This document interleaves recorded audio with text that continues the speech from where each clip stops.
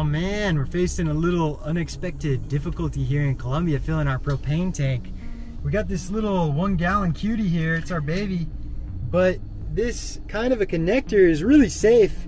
In the US, they love this thing. But down here, they don't have the adapter, I guess. So came here to try to fill it. And basically he said, you know, we don't got that adapter here. He said, try down the road, there's another plant. But if not, he said maybe in the center of town, we can go to a hardware store and pick up the adapter. He gave me a name of a business in a location where they might have those kinds of pieces. So let's go check out those, see if we can find an adapter. If we can't find an adapter, backup plan would be to see if their regulators fit on our system and get another tank. Or we can drive eight hours to Medellin, where on iOverlander people say they'll do it. We got it! This adapter thing. So in here you see there's like a there's like a thing down in there Yeah. that their there. system doesn't usually have that thing. That's like an extra safety feature of ours. Ah. The adapter, this part here pushes that open. Ah. And then it leaves out here the normal system right. so that they So- can fill here. But I mean, having the adapter is a big win. If not for Colombia, for the rest of the country. So Danny's going for a round two, trying to get our propane filled. As for me, I'm just gonna be sitting in here with somebody and Graham working. I am actually pretty sick. Like sometimes you just don't have the right gut bugs, and now I'm getting those added to my system, and it's kind of rough. I just can't really eat much or drink much. Where my stomach starts to hurt pretty bad, so. But hopefully we get propane and maybe we'll be able to cook for ourselves and I'll be able to figure out what does sound good for my stomach. right now it's like saltines. So can only go up from here. So that did not go well. the guy said by law he can't fill this. Yesterday the guy here said he could fill it if I had this piece. He said try next door. Next door yesterday they weren't as friendly as here, so well, we'll go try it out. The law here where propane tanks are owned by the refilling companies and that's a legal obligation. That way they can keep the tank safe and maintain it. So basically they won't fill up a tank unless if it's their tank. So the one option was hopefully finding one of these companies that was cool enough to do it for us. Ooh, it's hot out there. Try my best. But we're gonna head over to Home Center so we can try and get the little green Coleman um, containers because we do have that camp stove just in case. We'll just use that until we can figure out how to fill our tank. Hey, on iOverlander, eight hours away, there's somebody who, who will do it. Well, I'm gonna go check out Home Center and see if they have any propane for us.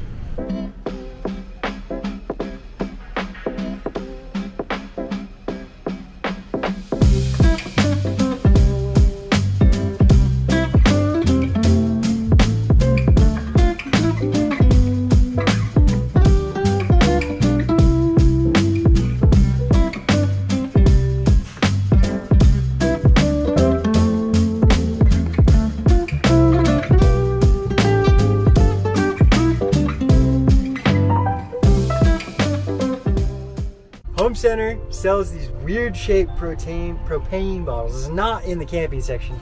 This was in the plumbing section because people use this for blow torches.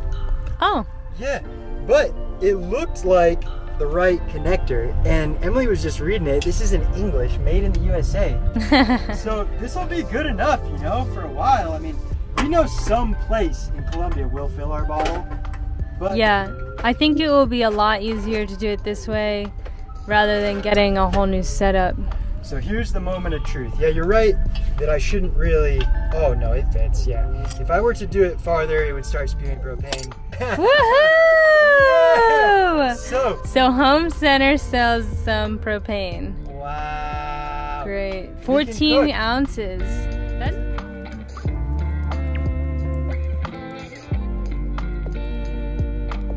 Wow. Well, we don't know what killed our stomachs, We got some kombucha. And plant-based yogurt. Ooh, that probiotic should help. This is plant-based yogurt. It's limonada de coco. It's a base of coconut milk. Got the consistency of regular yogurt and it tastes like regular yogurt with like lemon, lime, coconut kind of thing. I haven't really been having any kind of an appetite and this is like really, really. This is a really nice neighborhood of Bucaramanga called Floridablanca, where you find all the vegan things and the fancy shoppies. Graham hasn't had nori in ages. Yeah, we finally found it here in Colombia. Oh, he's excited. Oh. Ooh. Is that good nori? And apparently it's good for cats. It's good for humans. Definitely Siéntate. good for dogs. Nobody wants nori. Eh? I like just holding it like this and letting him letting him bite off pieces.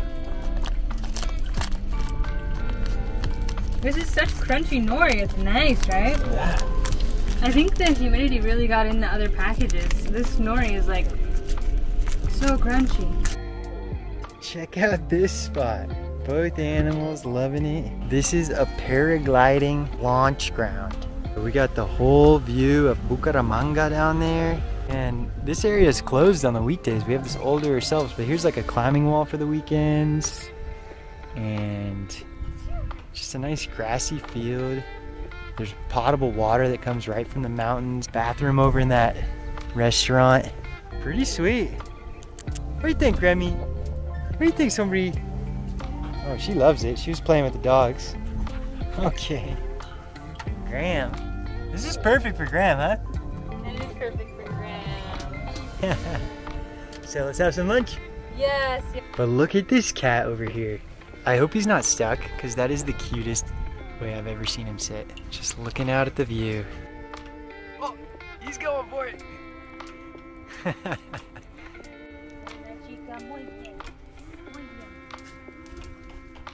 Man,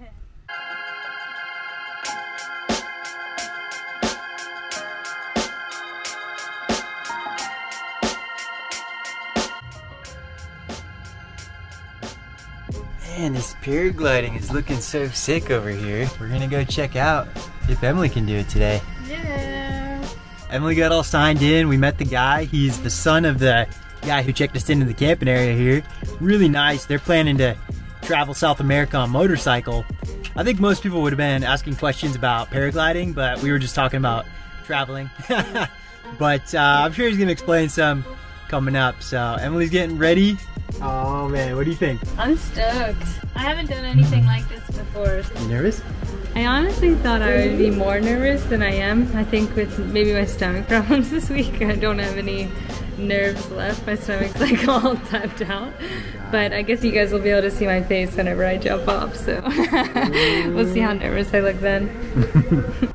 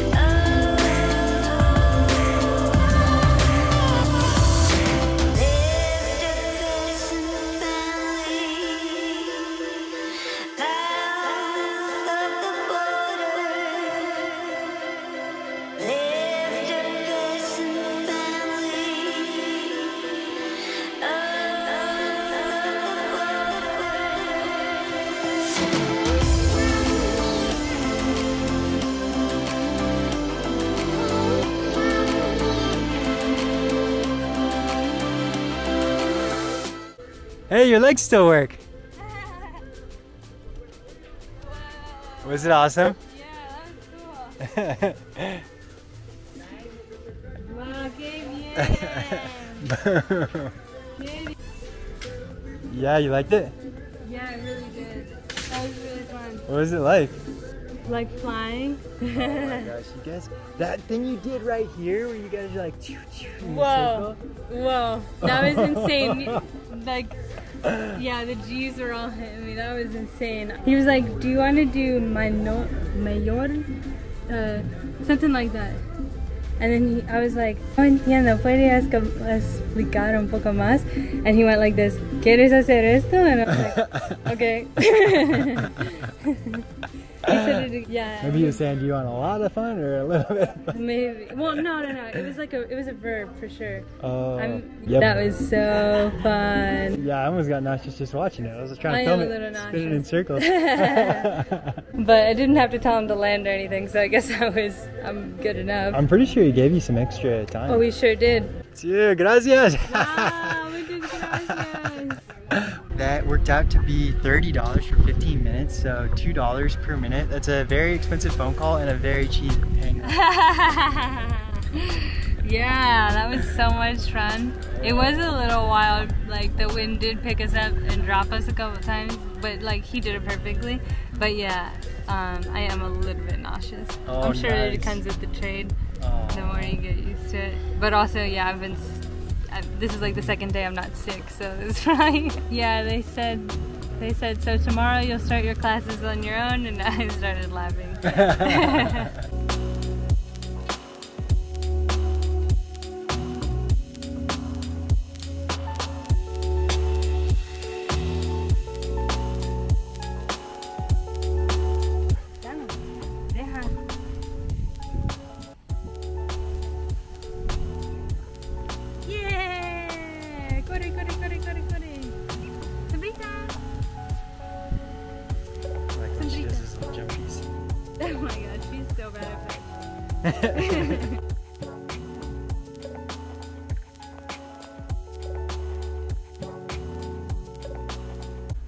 Thank you guys so much for joining us. If you like this video, let us know in the comments, like and subscribe. See ya!